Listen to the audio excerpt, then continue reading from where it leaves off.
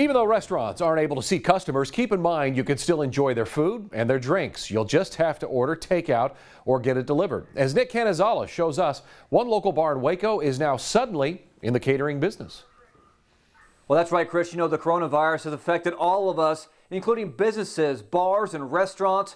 For one local bar in downtown Waco, they're now moving to the catering business to help their employees.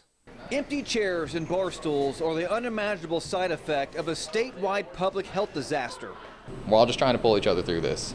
Josh Hernandez is the general manager of Barnett's Public House in Waco.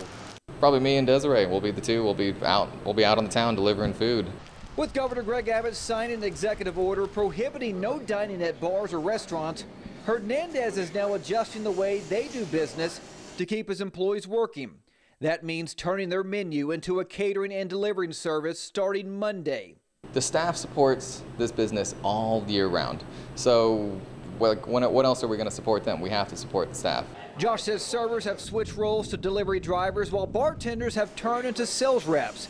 His catering service will feature breakfast and hot lunch right to your doorstep. One thing Barnett's have also added is the sale of premium liquor, which is currently in high demand.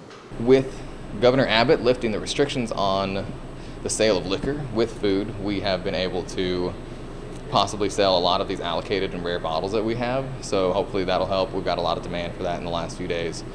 Despite the empty chairs that surround his business, Hernandez is determined to stay positive and focus on the bigger picture.